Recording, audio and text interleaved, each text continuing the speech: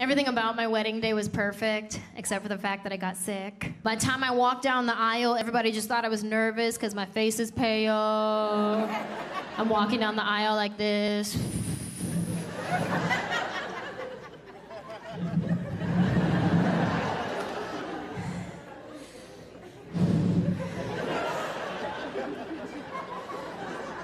Do you take this man to be your husband?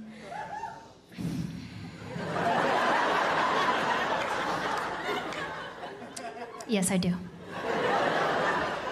Do you really? What? Yes, I do. He does. We all do. We all do. You don't need me for the rest of this, do you? I'll be in the back. All in all, it was a beautiful day. You know, we had a great time. Friends, family, it was a lot of fun. Just uh, take a couple of Imodium and you're all good. But if you take Imodium, be careful because you good for like three days.